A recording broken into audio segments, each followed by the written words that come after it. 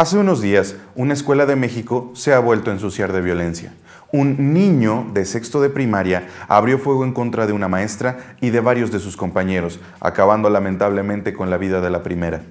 El gobernador de ese estado rápidamente culpó a los videojuegos, como si antes de la llegada de Nintendo al mercado no hubiera habido guerras ni violencia.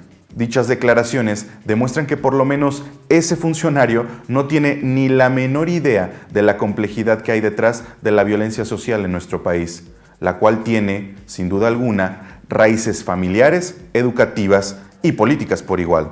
Muchas cosas andan mal con estos tres rubros. Guanajuato, por desgracia, es uno de los estados más violentos e inseguros del país. Así, con todas sus letras, ¿eh? Y sin embargo, lo que escuchamos de nuestros funcionarios es solamente es que es culpa de la federación.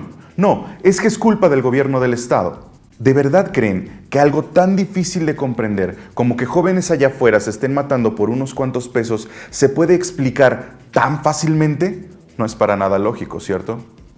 Hay que buscar dentro de nosotros mismos, criticar los valores y contradicciones de nuestras familias, las lagunas de nuestro sistema educativo y, por supuesto, las mentiras disfrazadas de objetividad de nuestros políticos. Solo así podremos mantener lejos una desgracia como la de Torreón, donde un espacio en el que todos se sienten seguros se vuelve una trampa de muerte. Solo así evitaremos condonar una respuesta tan mediocre como la del tipo es culpa de los Nintendos. Solo así podremos identificar a quien solamente parece, pero en realidad no es. Soy Marcos Vaquero Rul. Síganme en mis redes sociales como Marcos Vaquero Rul y en Twitter como Marcos Vaquero 05. Muchas gracias.